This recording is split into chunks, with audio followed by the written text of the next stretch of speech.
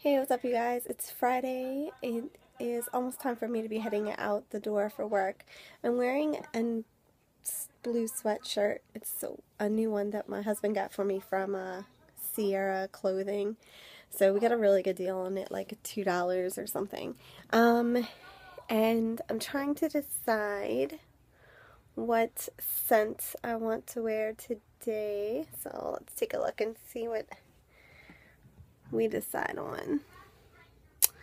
So much to choose from. Hmm. I don't think I've used this one. So we're going to go with Victoria's Secret Secret Craving. It just kind of feels like a body spray type of day. So we're going to stick with the body sprays. Um, so that's about it. I'm going to head out the door. And I will catch up with you guys a little bit later. I hope all is going well. And it's Friday and Sunday I'm going to redo my nails, so I'm not sure if I want to do purple or if I want to do blue. So this is Show You Care, and this is What's the Mituation. So let me know in the comments, purple, blue, what do you think? Leave me a comment below. Okay, so I'm getting ready to head into work and um, listening to Cosmo Radio. Today is the last day for Cosmo Radio. I'm very sad.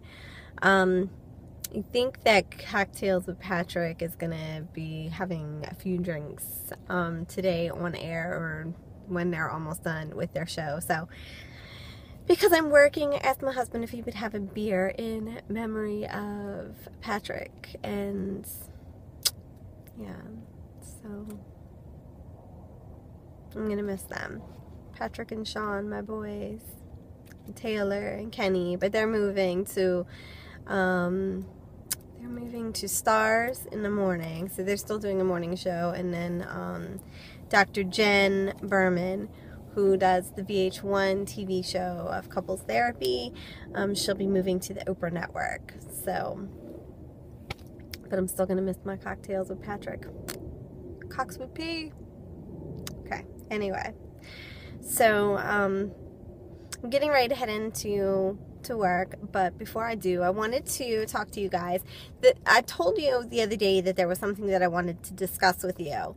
Um, and it really comes down to competitions and the different organizations and how um, at least with me there's one organization of um, of ladies it just seems very clicky and it kind of upsets me because um, I've competed in the NPC because that for me just worked better. Um, the other organization that, that is pretty big around my area is OCB.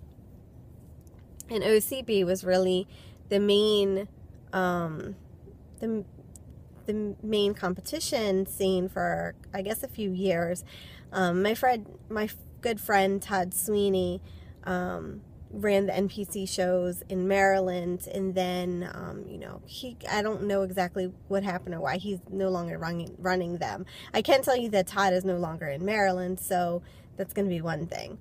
Um, but anyway, so NPC came back last year. I competed for the first time last year, and the reason that I chose NPC over OCB was really, um, I mean, it was a personal decision. It may be the same reason that other people do NPC. Um, ultimately, because OCB was so big when I was originally looking, I wanted to do OCB, but um, you know they do drug testing and they do um, a lie detector test, and for me, I was just kind of like, I get very anxious, and if I'm afraid that I may have taken something that has been banned from them, then you know it's not like I did it on purpose I'm not going on stage with steroids.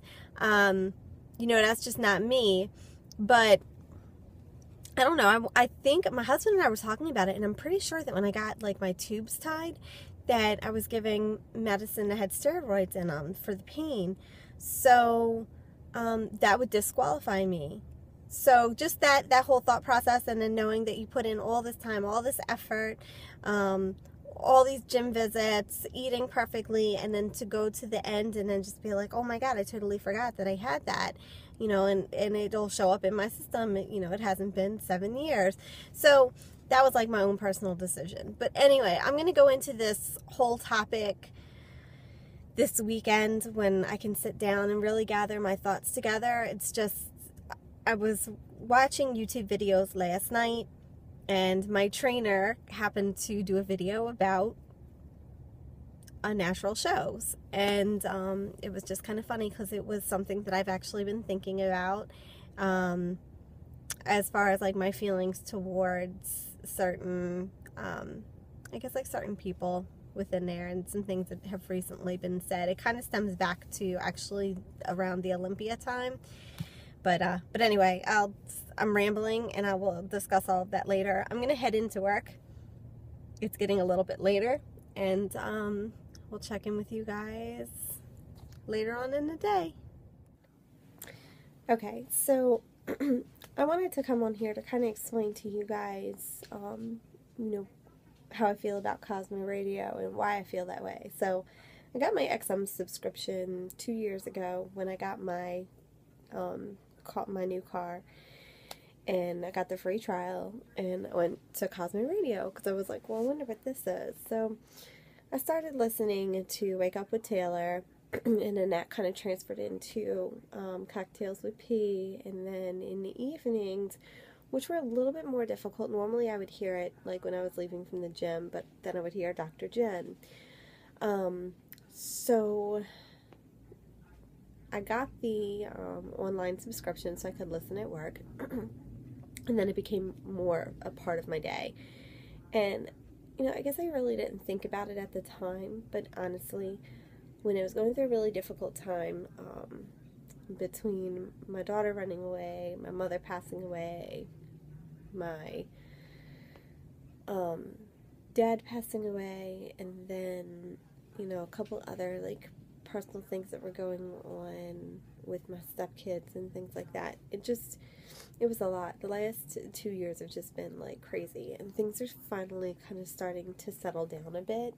And, um, you know, but listening to Cosmo Radio, that's really kind of what, you know, helps me laugh in the mornings when I was listening to um, Wake Up with Taylor. I can't tell you how many times I would come home and say something to my husband about whatever they were talking about on cocktails um, with Patrick. So, like, I would come home and say, So, honey, would you do this? Would you do that? Why do men think this? Why do men think that? Do you agree with this? Do you not agree with this?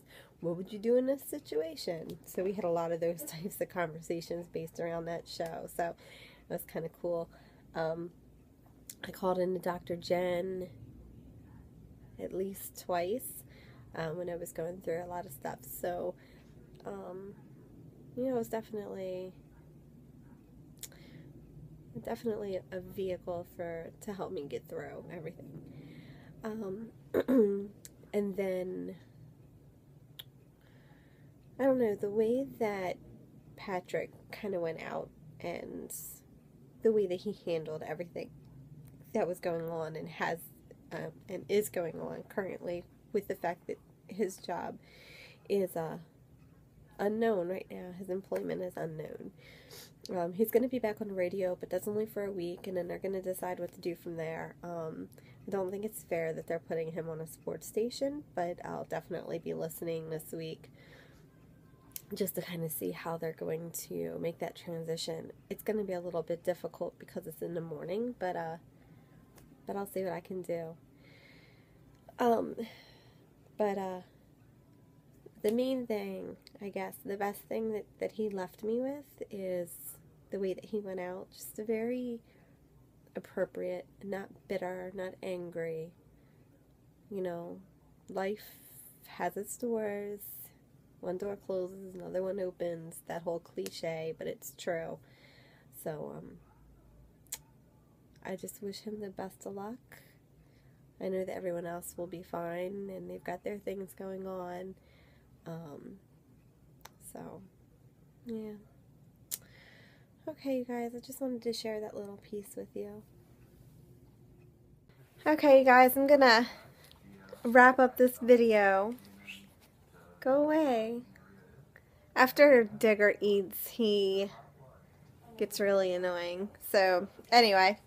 Um, today, today was mostly, um, a pretty, it was actually a pretty good day, all in all. Um,